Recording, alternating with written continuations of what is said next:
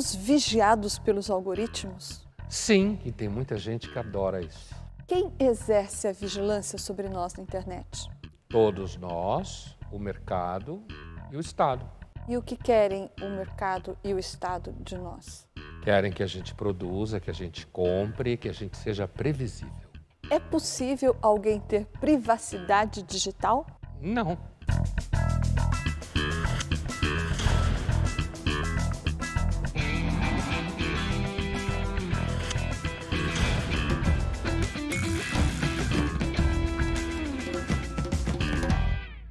Estamos iniciando mais uma edição do Linhas Cruzadas, hoje para falar sobre a vigilância online. Oi, Pondé. Oi, Thaís. Pondé, no ano de 1949, o escritor britânico George Orwell lançava o seu romance distópico 1984. Nele, o Orwell apresentou o Big Brother, o grande líder autoritário que vigiava as pessoas o tempo inteiro por meio de teletelas. Big Brother is watching you.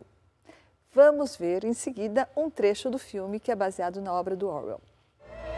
This is our land, a land of peace and of plenty, a land of harmony and hope.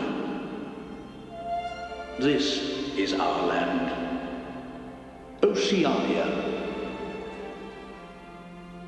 These are our people, the workers, the strivers, the builders.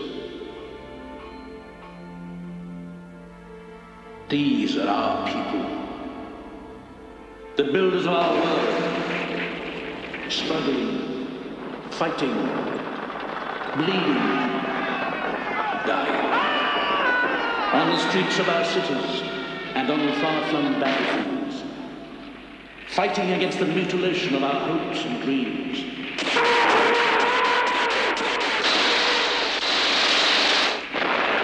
Who are they?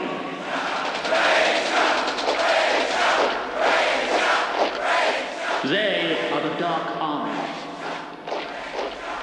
The dark murdering armies of Eurasia. In the barren deserts of Africa and India, on the oceans of Australasia, courage, strength, and the youth are sacrificed.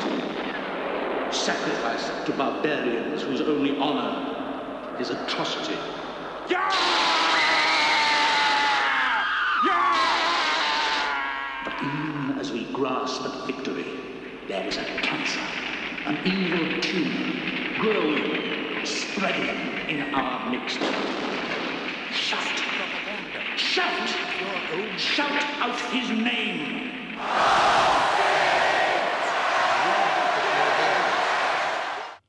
As redes sociais são, por acaso, a realização da profecia do George Orwell, a mídia que nós vemos e que nos vigia de volta? Bom, essa é a hipótese do Bauman, né? No, na entrevista dele publicada aqui no Brasil em 2015, chamada Vigilância Líquida, ele abre a entrevista, o livro, com essa hipótese de que ah, as redes sociais elas realizaram eh, essa, digamos, essa profecia distópica do Orwell.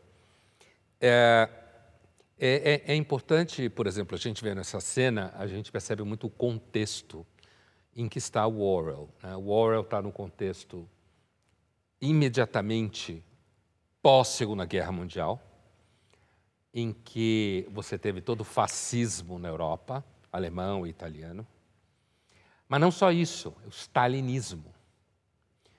Uh, o Orwell é um daqueles autores que chegou em algum momento a simpatizar com a União Soviética, o que era, eu digo, basicamente normal naquela época, né? diante de toda a selvageria do capitalismo nascente no 19 e tal, e também já tinha passado por um desengano, né? um dos primeiros a passar por um desengano. A propaganda, que é muito clara, mescla típica propaganda do mundo fascista com a propaganda do mundo soviético. E isso determina que o Orwell imaginou uma mídia no que ele acertou. É muito difícil você falar de regime totalitário sem mídia. Ali era rádio, né? Mas assim, ele acertou em cheio porque ele, é, ele percebeu que a relação entre um Estado, um meio de comunicação poderoso e a população recebendo esse conteúdo criava pessoas obedientes. E ele imaginou, isso é o grande sacada dele, de que em algum momento essa mídia poderia vigiar as pessoas. E aí o Bauman diz: olha, não é daquele jeito que ele pensou, porque ele está escrevendo isso 49, mas existe sim uma vigilância. Essa vigilância está espalhada pelas redes sociais. E são as redes sociais, os algoritmos, a inteligência artificial, todo esse pacotão de coisas aí que de fato nos vigiam, certo? Por quê? Porque tem nossos rastros, sabe o que a gente consome, para onde a gente vai, onde a gente esteve. Então, Orwell, ele percebeu, ainda que ele estivesse associando isso, digamos, a uma televisão, uma tela de TV ou de cinema, estivesse associando a um governo totalitário, e as redes sociais, ela não está associada necessariamente a só governo totalitário. Ela realiza o pleno casamento entre mercado e Estado na vigilância. E você que adora ser vigiado para a pizza chegar rápido. A socióloga Shoshana Zuboff, ela fala sobre isso no livro dela, A Era do Capitalismo da Vigilância. E ela faz lá onde é essa analogia com o capitalismo de mercado. Então, ela diz que enquanto o capitalismo de mercado age como um vampiro sobre o trabalho, o capitalismo de vigilância, como ela chama, é um vampiro das experiências humanas. Esses tais rastros, experiências humanas, são esses tais rastros que a gente deixa quando a gente acessa, vai comprar um livro na Amazon, etc. Você acha que a Xoxana exagera nessa análise do vampiro? Eu acho que, digamos assim, uma certa discordância que eu tenho da posição da Xoxana Zuboff é a, a suspeita dela de que se você tiver bons mecanismos de regulação do Estado, você consegue conter esse risco. Acho que o Estado, ele, nesse assunto, ele pode ser parte do problema e não parte da solução. O problema de controle das redes sociais é um dos problemas do século XXI, da internet em geral. Ninguém sabe como fazer isso. Né? Ninguém tem clareza qual mecanismo é bem sucedido por conta da própria tecnologia que avança e, e é incontrolável a adesão das pessoas. Mas eu acho que ela tem razão quando ela entende que no, na era do capitalismo da vigilância, como ela fala, você tem uma exploração ah, das experiências pessoais, dos trajetos cotidianos que a pessoa faz, não só físico, mas os trajetos cotidianos da vida dela, onde ela, para onde ela viajou, quanto ela gastou, sobretudo o que ela comprou, o que ela deseja comprar, o que comprar. ela deseja comprar, a, a, a, as, as grandes marcas, pode saber inclusive com quem você fala, que tipo de pessoa você fala, né? E que isso de fato constrói o mecanismo de vigilância. Eu entendo que o Bauman captura melhor a responsabilidade das pessoas nisso do que a Zuboff. A Zuboff tende a tornar as pessoas muito vítimas, quando na realidade as pessoas são parceiras em serem vigiadas, como diz o Bauman. Será que as pessoas acham que a internet tem o poder de nos controlar? Vamos ver o que elas disseram.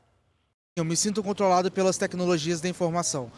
É, às vezes eu penso numa coisa acabo de falar alguma coisa, já aparece um anúncio de um produto para mim. Então, eu me sinto sim, bastante controlada. Eu me sinto sim controlada, é, por isso. Porém, é, penso que é um mal necessário. No meu caso, eu não me sinto controlado pela tecnologia da informação. Eu sinto que eu uso ela a meu favor. É, eu conheço os limites da, da tecnologia, procuro estar sempre bem informado e naquilo que me interessa eu uso, naquilo que não me interessa eu descarto. Eu me sinto sim controlada pela tecnologia da informação. É, a gente no dia a dia, né, o tempo todo ligado ao celular e parece que a gente fazer uma pesquisa antes mesmo de pesquisar aquele assunto já aparece. Assim, é incrível, né? Eu assim, tenho essa sensação que a gente é super controlado, sim. Eu não me sinto controlado com a tecnologia da informação. Hoje em dia, é primordial, é necessário usar mas tem como você se controlar. Eu me sinto sim controlado pela tecnologia da informação, porque tudo que a gente faz nas redes sociais, nos sites, uh, as, eles estão nos vigiando, estão coletando dados que a gente não tem ciência do que podem fazer, o que vão fazer e não tem uma clareza muito certa com isso. Todo mundo está submetido aos mecanismos de, às tecnologias de informação. Ah, quando você faz banking, né, está usando, mexendo na sua conta. Quando você está comprando viagem, passagem de avião.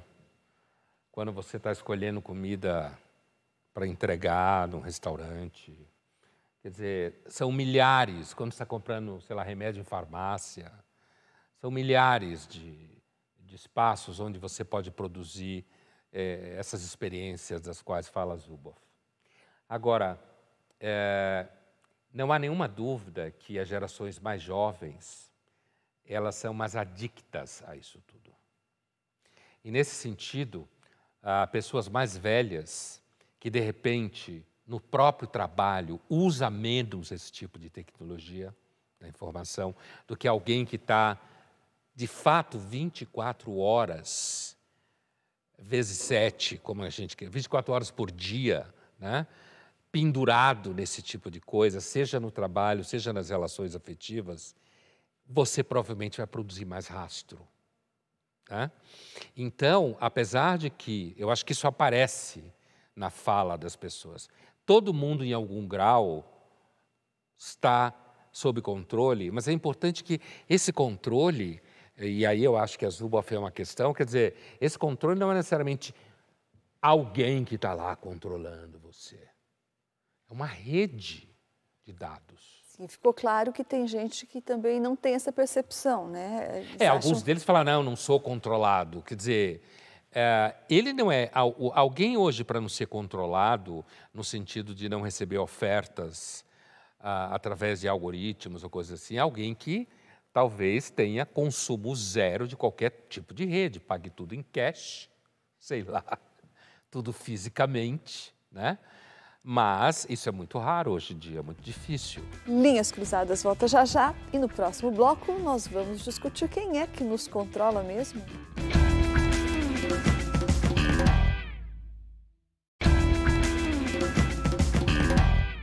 Estamos de volta com Linhas Cruzadas, hoje falando sobre a vigilância nas redes e agora sobre quem nos vigia.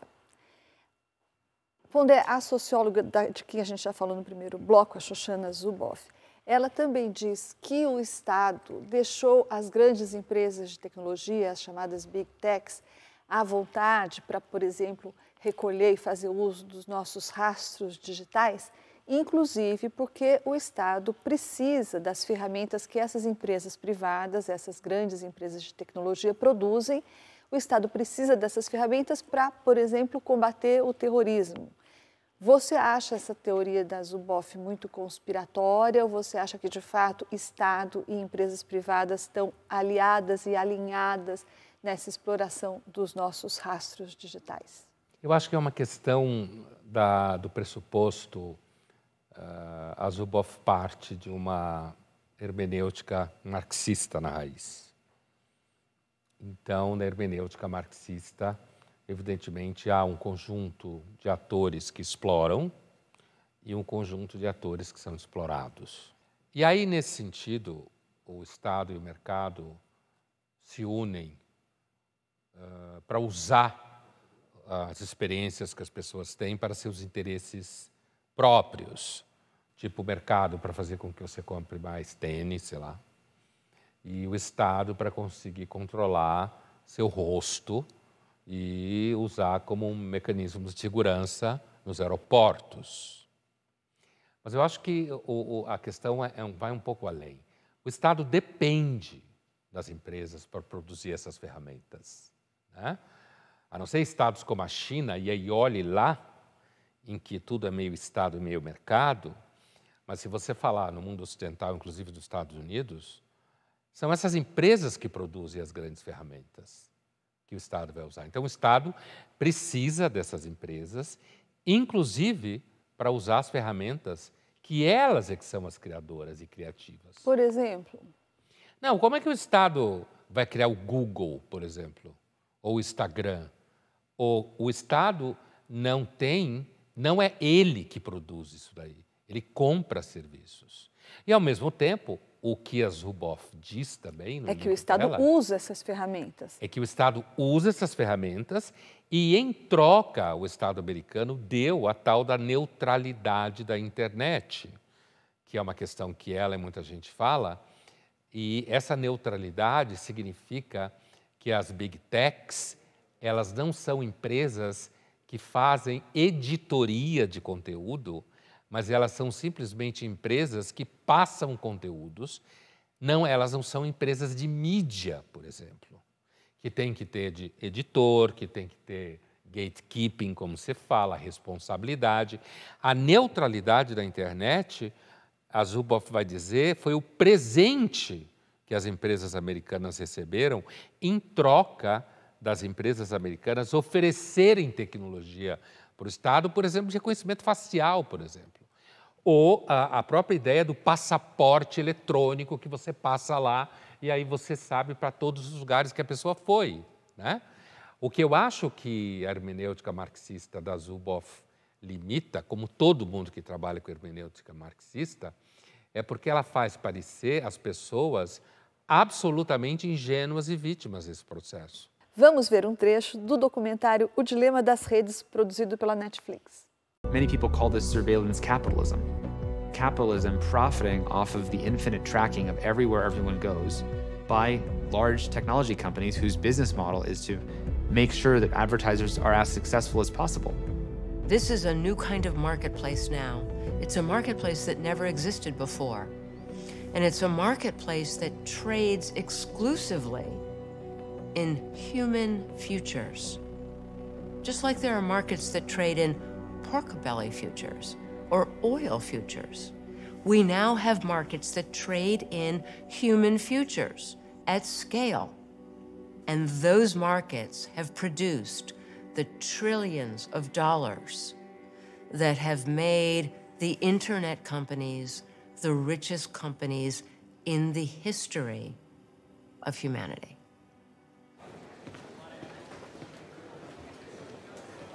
What I want people to know is that everything they're doing online is being watched, is being tracked, is being measured.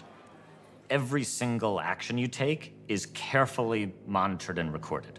Exactly what image you stop and look at, for how long you look at it. Oh, yeah, seriously, for how long you look at it. They know when people are lonely, they know when people are depressed, they know when people are looking at photos of your ex romantic partners, they know what you're doing late at night, they know the entire thing. Whether you're an introvert or an extrovert, or what kind of neuroses you have, what your personality type is like. They have more information about us than has ever been imagined in human history.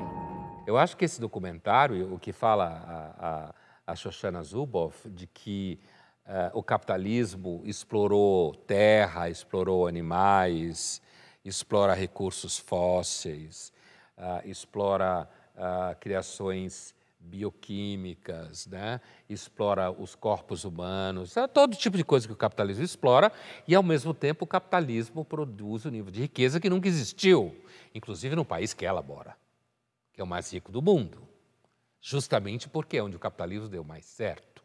Né?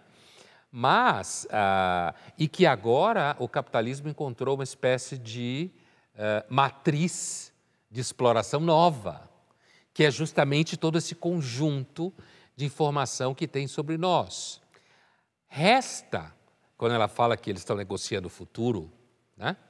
Resta, nosso futuro, vendendo e tal, resta saber, já que a gente está passando nesse processo, se esse tipo de informação vai ser, a longo prazo, tão produtora de riqueza quanto foi o petróleo.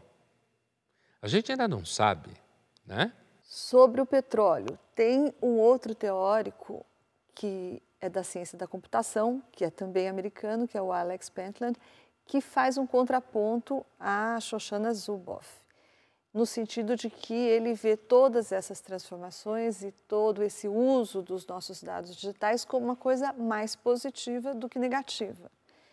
Petróleo, por quê? Porque ele diz que as informações são o petróleo, o novo petróleo que a internet proporciona para as empresas. E ele acha isso bom, porque, na opinião dele, em vez de invasões na sua privacidade, em vez de exploração do, dos dominados, o que ele vê é um aprimoramento no sistema de saúde pública, por exemplo, por meio da coleta desses dados que oferecem para o Estado um monte de informações que podem servir para antecipar pandemias, por exemplo, ou um monte de informações que podem servir para você melhorar as condições de trânsito numa cidade, num país até porque você acaba coletando dados que mostram os hábitos das pessoas, isso pode ser usado para o bem da coletividade. Então, o Pentland tem uma visão bem mais otimista do que a Zuboff. Você acha que ele peca por ingenuidade, por excesso de otimismo? Não há dúvida que o, o Pentland soa excessivamente ingênuo. Ah, a gente vê, veja que todo esse sistema de informação não foi capaz de identificar pandemia nenhuma quando o Covid estava chegando. Né? No caso da Zuboff, vale lembrar um detalhe de que ela está fazendo esse documentário na Netflix, uhum. que é uma empresa que absolutamente trabalha em cima de algoritmos. Então, ela está fazendo uma crítica dentro de uma plataforma que trabalha exatamente com esse tipo de informação. O que isso significa? Significa que a crítica que ela e outros fazem faz parte do mercado. Por quê? Porque o mercado comporta figuras integradas, como o Pentland, que então chegam, no meu ponto de vista, a uma visão excessivamente otimista, e o, o mercado também assimila pessoas apocalípticas isso é controle, isso é exploração, é um capitalismo horroroso. E isso é o mercado. Ou seja, o mercado é inescapável. O mercado é uma entidade da qual, se você faz alguma coisa e começa a funcionar, você começa a cair dentro dele. A Júlia Puzzuoli e o Teodoro são influenciadores digitais e trabalham 24 horas com a internet. E eles contam aqui pra gente como é esse trabalho nas redes sociais. Olha, confesso para vocês que trabalhar 24 horas com a internet não é fácil, tá? E a internet, ela vem para complementar. Então, eu acho que a gente, o grande segredo disso aí é você ter uma vida normal e introduzir a internet na sua rotina, né? Isso vai fazer serem, seus conteúdos serem muito mais orgânicos e serem gostosos de assistir, né? Então, isso é uma dica que eu gosto muito de compartilhar. Trabalhar 24 horas na internet, com a internet, é você estar tá sempre, 100% do seu tempo pressionado, uma pressão que você tem que aprender a lidar das coisas que você precisa fazer, da opinião dos outros sobre você, é, de como você vai aparecer para os outros. É muita coisa que envolve dos números, dos seus números, então você tem que manter eles altos, independente de qualquer coisa, sempre que é isso que valoriza o nosso trabalho. Então, ideias, criatividade, envolve muita coisa e tem que aprender a lidar com essa pressão diária é, de uma forma mais natural e tipo assim possível, sabe? Que você conseguir. Eu acho que essa responsabilidade de influenciar pessoas, né? De levar informação também é muito importante. Eu sempre falo isso. Porque hoje a gente tem que ter essa maturidade de entender o que, que funciona pra gente e entender também que a gente tá levando informação para as pessoas, né? E esse reconhecimento aí do público, dos seguidores, dos fãs é muito gostoso de receber. Trabalhar na internet significa tudo na minha vida, a mudança de chave na minha vida, é ajudar a minha família, é, ajudar outras pessoas a melhorar o dia, a lidar com até algumas doenças psicológicas, então, depressão, ansiedade, e ficar bem só de me ver ali. Então significa muito eu fico muito feliz de ter conseguido de estar aqui cumprindo esse papel que eu acredito que seja assim minha missão aqui, poder ajudar as outras pessoas. Quando ela fala que trabalhar com a internet o tempo inteiro é uma pressão, porque é, o que as pessoas pensam de você, ou seja, ela sabe que ela é vigiada. E ela, na realidade, o trabalho dela, parte do trabalho dela é ser vigiada. Porque então, aqui a gente está falando de uma outra espécie de vigilância. É, é a, é a vigilância que, inclusive, o Bauman fala, que não é da empresa, como fala Zuboff, o conjunto capitalista, né? mas é essa vigilância líquida, exatamente, dispersa. E que ela tira, de alguma forma, parte da sobrevida dela disso. Porque, na realidade, a internet é uma grande rede em que vizinhas machadianas das mais variadas idades operam. Porque a vizinha machadiana, aquela figura que o Nelson também trabalhou, das varizes nas pernas, que ficavam falando da vida alheia, agora é, são as pessoas da internet. Isso virou uma especialidade. Tem gente que vive de dar conselho, de relacionamento, aliás, é um dos territórios mais explorados, né? dá conselho de como você se veste, dá conselho de como você come, dá conselho para onde você viaja, como você lida quando você está sofrendo. Neste caso, quer dizer, tanto a pessoa que está consumindo o seu conteúdo de alguma forma está vigiando você, porque essa vigilância não aparece, não é para a gente pensar só como na matriz do Orwell, alguém olhando para você. Essa vigilância é um processo em que é, você depende dela para sobreviver. Do julgamento dos outros, para engajar ou não engajar. E, ao mesmo tempo, essa, essas pessoas que estão ali uh, conversando com você, ao mesmo tempo, se você é uma profissional competente, você está sabendo vigiá-las e saber o que, que ela curtiu, o que, que ela não curtiu, para onde ela vai, outros lugares que ela frequenta. Linhas Cruzadas volta já já e no próximo bloco nós vamos falar sobre a vigilância que amamos.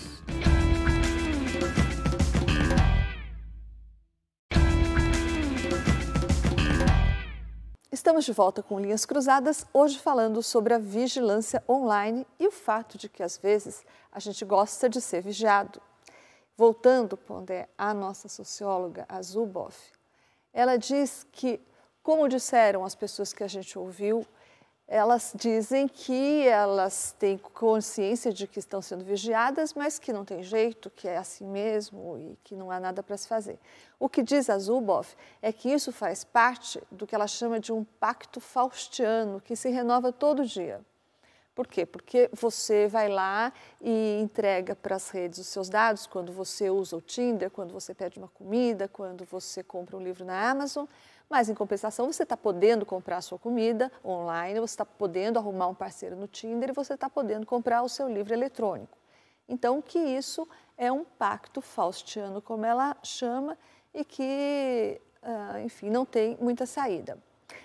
Quem ganha e quem perde nesse pacto? Ou melhor, o que a gente ganha e o que a gente perde nesse pacto faustiano que ela chama? Olha, algumas pessoas não estão nem aí para o que ela, elas perdem no entendimento uh, da Zuboff, você perde uma espécie de autonomia da sua privacidade, né? que a sua privacidade não seja vendida para outra, outras empresas, que uh, você não seja, digamos assim, explorado no seu desejo, né? no sentido de você ficar tendo o desejo estimulado o tempo inteiro.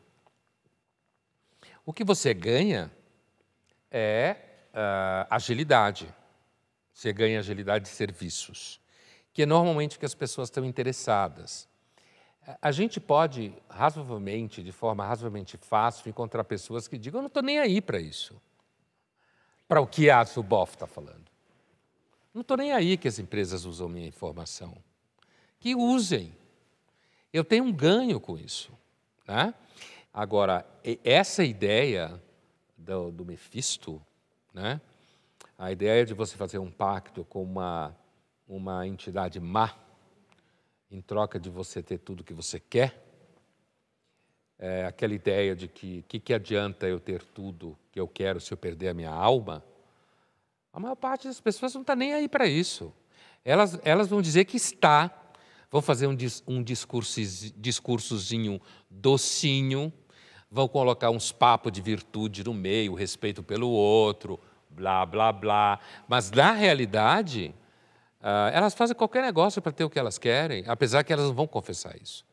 Então, eu diria que a relação com Mefisto, ou com o diabo do pacto faustiano, é que agora uh, essa relação ela é uma relação bem secreta. Mais secreta do que era antes. Mas porque as pessoas perderam medo disso. Acham que, na realidade, só há ganho E a pergunta é: a própria Zuboff e todos os outros que aparecem no mesmo documentário falando disso, não estão vendendo o peixe deles do mesmo jeito? Não estão ganhando dinheiro com a própria tecnologia, como a gente falava antes? É claro que isso não significa a priori que o que eles estão falando não seja verdade. O que eles estão falando não tem um efeito negativo que eles estão descrevendo. Tem gente que quer ser vigiado para se sentir seguro. Me vigia que eu gosto. Me vigia que eu gosto, me dá lucro, me entrega resultados. O que a gente tem na realidade com o diabo, esse diabo aí, fazendo analogia, é um projeto, é uma parceria. Vamos ouvir o que dois especialistas em tecnologia têm a nos dizer sobre a dependência que estamos criando da tecnologia. A grande questão agora é que novas tecnologias avançam mais rápido do que a própria humanidade consegue acompanhar, porque elas avançam de maneira exponencial, ou seja, elas dobram de capacidade a cada período de tempo. E esse é um fenômeno que gera uma acumulação constante de soluções para a vida humana, mas que também pode nos deixar fisicamente e psicologicamente dependentes. Uma outra tendência é que aplicativos vão ser desenvolvidos para obter dados da nossa vida, mas para nos dar inteligência em relação às empresas. Hoje, a maior parte da inteligência vira um pouco de benefício para a gente e muito benefício para as empresas. O que vai acontecer é que isso vai ser invertido, a balança vai ficar mais equilibrada. Aplicativos vão ser desenvolvidos para nos dar inteligência. E essa dependência já mostrou efeitos negativos na saúde física quando nós automatizamos os trabalhos manuais durante a Revolução Industrial. Só que agora ela também pode criar efeitos negativos na nossa saúde psicológica, porque agora não é preciso nem pensar, já que uma inteligência artificial pode fazer esse trabalho por você. Então, em termos de economia, esse efeito exponencial cria uma série de benefícios para a sociedade mas nós vamos precisar nos reeducarmos como humanos para saber lidar com isso. Nós temos também uma tendência de produtos que vão ser desenvolvidos para ajudar a proteger os nossos dados ou até mais do que isso, obter dados das empresas, obter dados de que tipo de coleta estão sendo feitas e nos trazer inteligência em relação a essas empresas. Seria uma espécie de uma contramedida eletrônica para que a gente possa navegar melhor nesse mundo, ser mais protegido e principalmente fazer com que o lado mais fraco, o lado do consumidor, tenha uma inteligência superior para lidar com essas empresas. Eu acho que o, o, o nosso entrevistado de cabelo curto apresenta características claras de uma integração ao processo, inclusive quando ele diz que novos aplicativos uh, surgirão para que a gente consiga lidar com os aplicativos e que uh, os serviços ficarão cada vez melhores e tal, e que vai um pouco empatar o jogo daquela polarização assimétrica que fala Zuboff, né? entre o consumidor, que tem alguma vantagem, mas as empresas que, que ganham muito. Uh, pode ser que isso venha a acontecer. Uh, eu imagino, por exemplo, que de repente uh, o, o, banking, como se fala hoje em dia, né? A relação com o banco virou banking. Toda vez que alguma, algum processo uh, você passa a falar ele em inglês, saiba que você vai se ferrar. Vai né? ficar mais caro. Vai ficar mais caro, vai ficar gourmetizado e vai ser pior. É o caso do banking. A, a relação com o banco hoje é muito pior do que era. É claro que quando você está acostumado a fazer coisa digitando, você acha que é melhor. Mas toda vez que dá algum pau nesse processo, o círculo para você conseguir resolver é muito pior do que era. Né?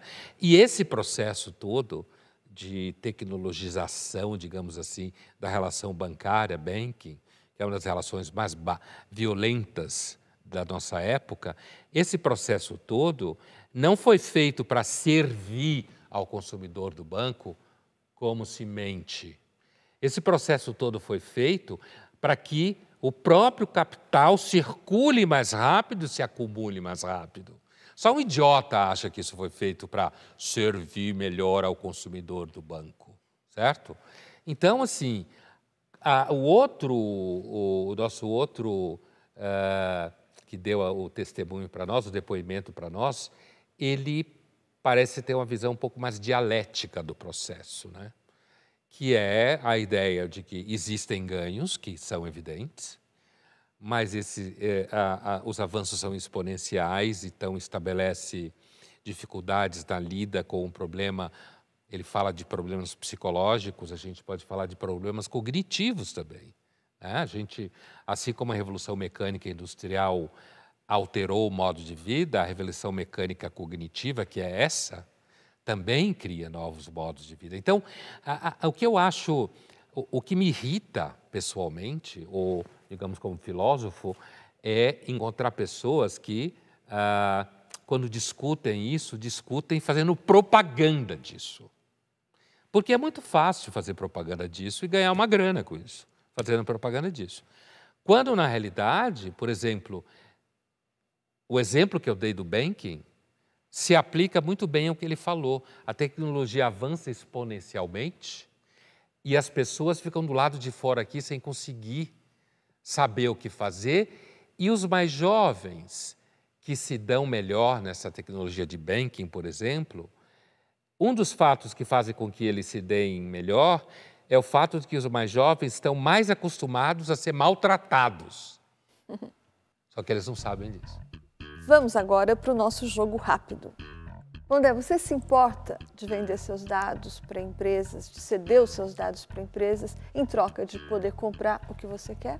Não, não me importo nem um pouco. Né? Compro livros, peço comida, uso aplicativo de transporte. Né? Digamos, ah, como o meu uso dessas ferramentas é um uso muito pontual, e a maior parte da minha vida não está ligada a esse tipo de coisa, então talvez eu não sinta impacto. Mas a rigor, não. Agora, muitas vezes, quando esses aplicativos perguntam, você aceita que não sei o quê, eu digo não. Eu olho, não, eu acho que aqui eu aceito. Esse aqui não aceito, não. Eu digo não. Eu não sofro com isso, pelo menos conscientemente. Thaís, e você? Você se importa? Eu concordo totalmente com você, mas por um outro motivo talvez. Primeiro porque, bom, eu não consigo viver sem algumas coisas. Não consigo viver sem aplicativos de comida, por exemplo, de compras eletrônicas, não consigo viver sem o Google mais. Mas tem outro motivo, Pondé, porque eu acho que essa vigilância é muito relativa quando você é só um ponto na multidão aí, não é? Não é que eu me sinta vigiada, pessoalmente vigiada. No final, você é só um pontinho nessa multidão que os algoritmos mergulham para poder tirar algumas conclusões. André, você acha que é possível alguém ter total privacidade digital ou parcial privacidade digital hoje? Eu acho que, em sentido estatístico, há uma tendência de uma uh, sustentada diminuição da privacidade digital a depender do corte geracional. Quer dizer, quanto mais jovem, menor privacidade digital, porque sua vida se dá mais no âmbito digital. Quanto mais velho, em que sua vida se dá menos no ambiente digital, você terá mais privacidade. O que significa que quanto mais digital, menos privacidade.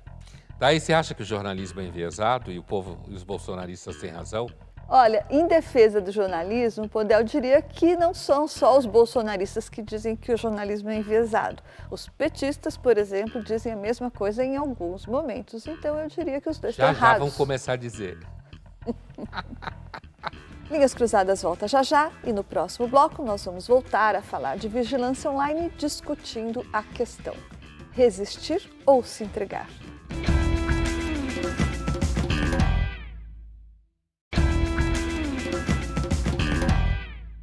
Estamos de volta com Linhas Cruzadas, hoje falando sobre vigilância online.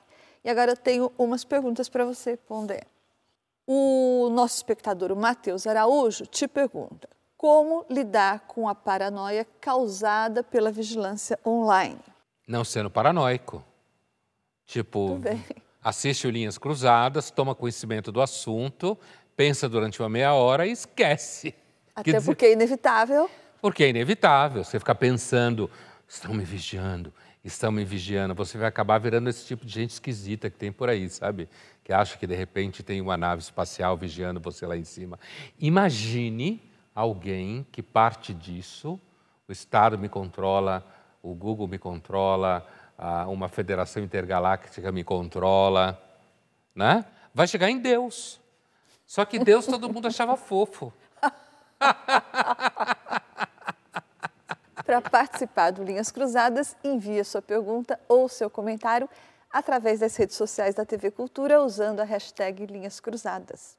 Pondé, então vamos dar uma amarrada aqui na história. A gente falou no programa, de um lado, da Zuboff, a Shoshana Zuboff, que é a mais pessimista, mais alarmada e que acha que a gente deve resistir a essa, esse impulso ou essa pressão para entregar para as redes sociais, para as empresas de tecnologia, os nossos dados, os nossos rastros digitais. E de outro, o cientista da computação, também americano, Alex Pentland, que acha que isso tudo, a entrega dos dados digitais por cada indivíduo, vai resultar num benefício coletivo, no aprimoramento de alguns sistemas públicos. Portanto, ele é um otimista.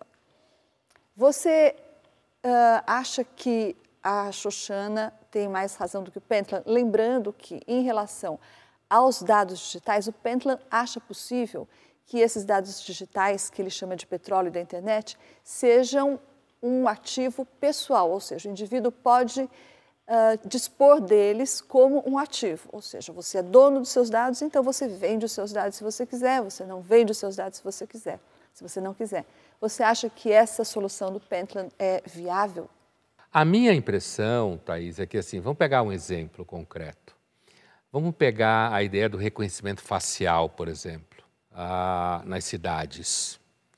Ou, vamos pegar, por exemplo, o fato anterior, um passo atrás disso, do número de câmeras que tem nas cidades, inclusive cidades como Londres, que dizem que tem, é que tem mais câmera, não sei e que o Estado, a polícia, pode, inclusive, pedir acesso a câmeras privadas de empresas, né? de condomínios e investigações. Então, ah, essas câmeras produzem a sensação de segurança para muita gente, mas, ao mesmo tempo, essas câmeras capturam imagens. De vez em quando aí tem um escândalo na internet de um casal que é pego se pegando numa festa de final de ano da firma num canto e que não devia estar fazendo aquilo. Um passo adiante é o reconhecimento facial, mas há uma analogia nas duas situações. Quer dizer, por um lado, isso agiliza o processo na cidade, isso pode criar mecanismos de, uh, de repressão ao crime, no sentido de criar um ambiente em que seja mais perigoso você causar o crime.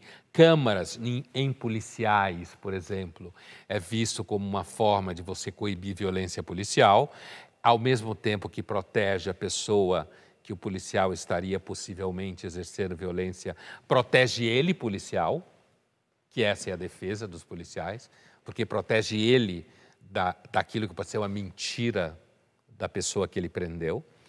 Então, esses são exemplos ah, ao mesmo tempo, o reconhecimento facial pode estabelecer controle sobre você, porque, veja bem, é, não é alguém reconhecendo você, é uma rede de dados que circula por um, uma rede de inteligência artificial que é capaz de organizar esses dados num nível que ninguém nunca organizou, certo?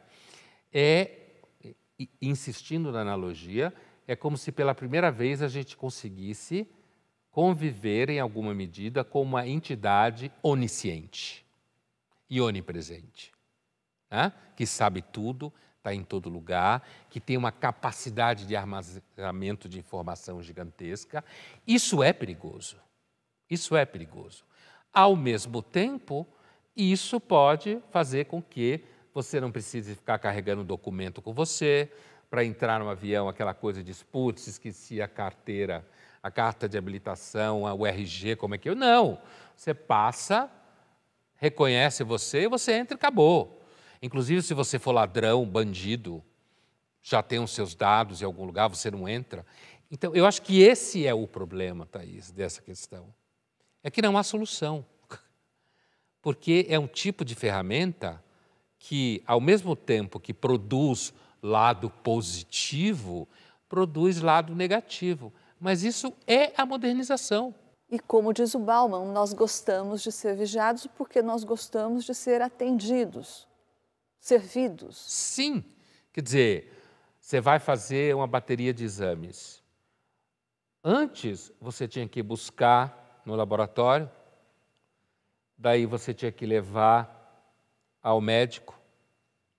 Já há algum tempo, o médico tem um código que ele acessa o resultado dos exames na plataforma do próprio laboratório. Isso agiliza o diagnóstico, que pode ser inclusive um diagnóstico negativo, né? Ah, negativo no sentido que venha com algum quadro clínico ah, que exija atenção Providência e cuidado. imediata. Né? Isso agiliza a medicação, algum processo cirúrgico. Né?